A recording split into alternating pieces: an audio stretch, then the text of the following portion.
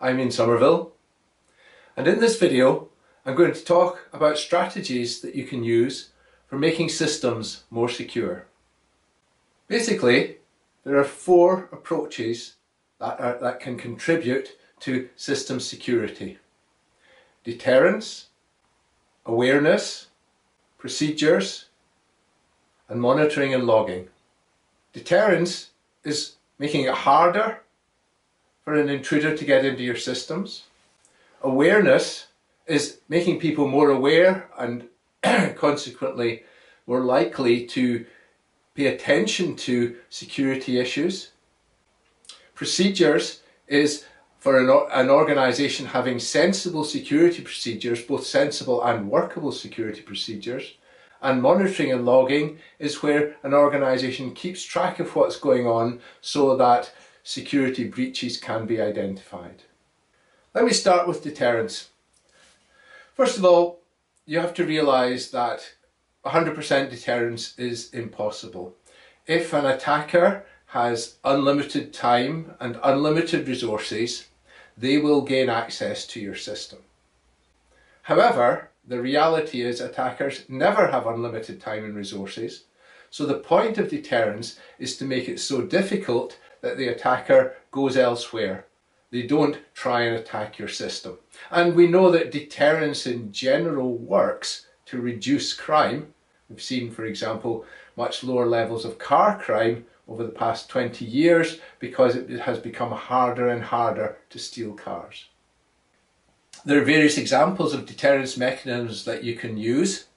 You can use, for example, diverse authentication where you don't have a single authentication mechanism, such as a login password combination, but you have a login password combination combined with some kind of question or biometric that actually then means that someone has to break two levels of security to gain access to your system. It makes sense to use firewalls to restrict traffic into your system that is potentially malicious. Encryption can be used where appropriate to protect information. You use HTTPS secure protocol which encrypts traffic on the internet and you take confidential information and encrypt that. In reality, it's probably not worth encrypting everything, but being selective as to what is encrypted. Password security is basically the simplest and most effective way to improve the security in your system. Surveys have shown that there's a number of passwords that are incredibly commonly used. Here are some examples. If an attacker gets access to a list of passwords, they can try these common examples against that list and the chances are they will find that some users on that list are using these passwords. So the simple piece of advice is never use any of these common passwords. A very common attack strategy is for an attacker to break into a site and steal a list of encrypted passwords and then use brute force technologies to try and break these passwords to get the plain text for them. They then work on the fact that users tend to use the same password and they can then get access to other sites in that way. This is a website which I find very effective because what it does is that it applies various strategies to break a password, to actually decrypt a password and it tells you how long it would take using brute force attacks to guess that password. Let's just think about making a, a secure password. Assume that as a child you had a hamster. So you think of hamster as your password.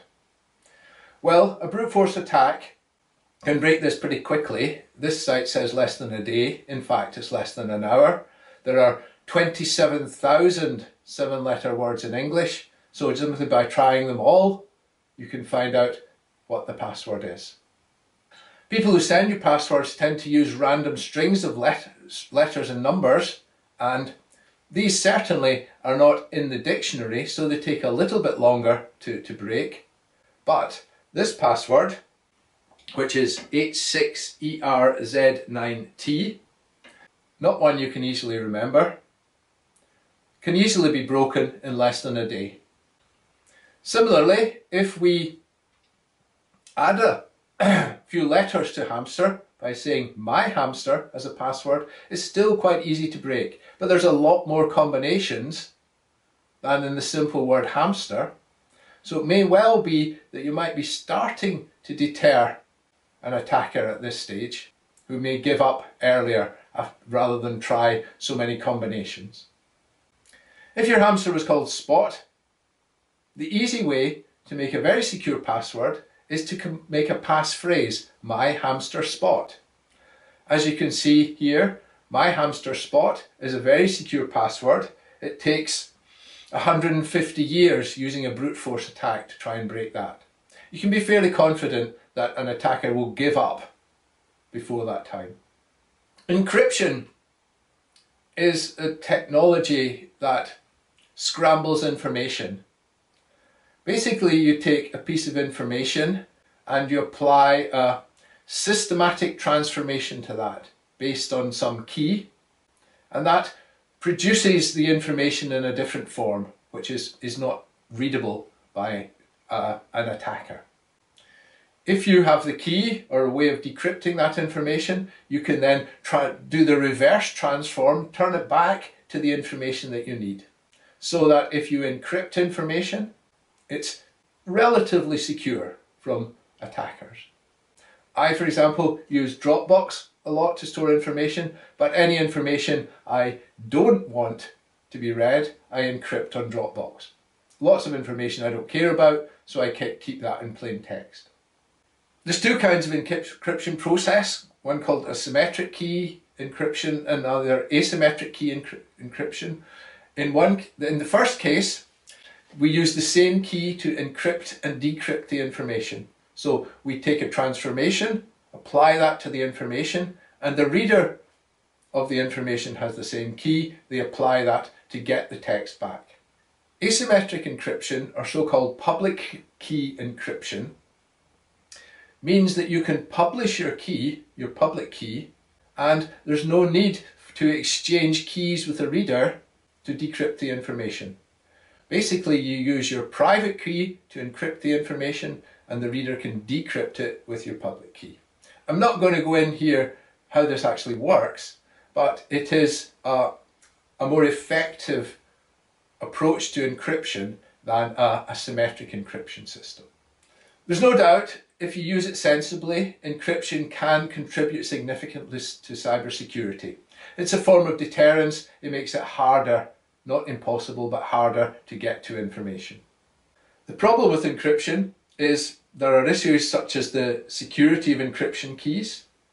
The general inconvenience of encryption, it slows things down, which means that tech people tend to use it in quite a patchy way.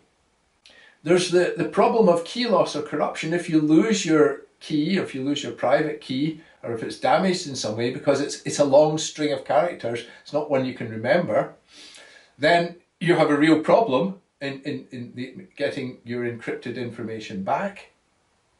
And when you back up information, if it's encrypted, again, you have to have the key to decrypt that information. If you have something like a disk failure and you lose everything, it's very hard to recover your information from a backup. Awareness is simply making users more aware of cybersecurity issues. And it's very important in an organisation that this should go throughout the organisation from the most junior to the most senior employee. It's equally important to be open about incidents that have occurred, not to pretend they haven't happened, so that people know that this is a real threat. When you're developing cybersecurity awareness, you have to take into account how people really are rather than ideally how you might like them to be. People are careless, forgetful, in a rush. And all of these factors contribute to the fact that they, they sometimes don't follow stringent procedures as, as you might like them to. It's silly to give bad information. For example, use a different password for every site you visit.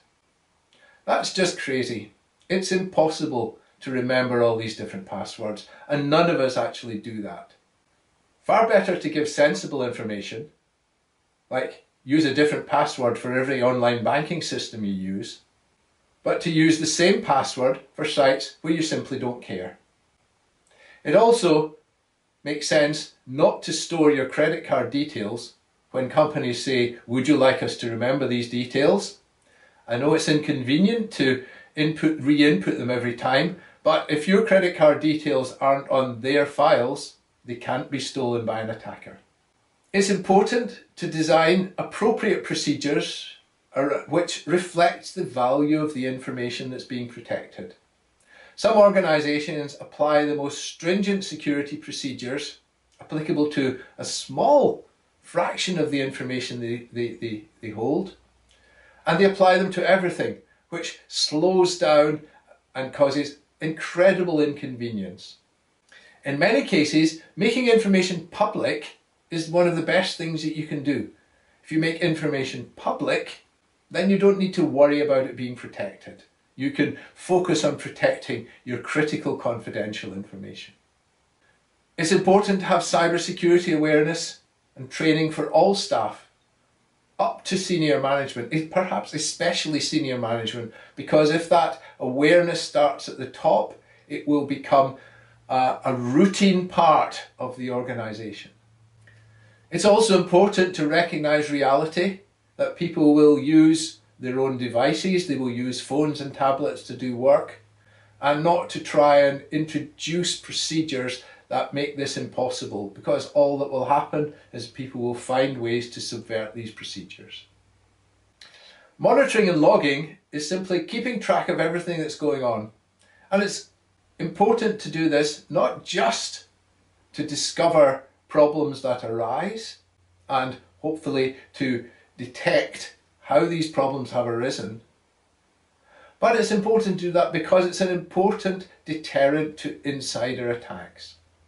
If people know that what they're doing is being monitored, it makes it much more likely that any attack will be discovered and hence less likely that people will be tempted to commit such an attack. In summary then, if we want to improve cybersecurity, we need to focus on four strategies. Deterrence, awareness, effective security procedures, and monitoring and logging. You can download the slides that accompany this video from my SlideShare account.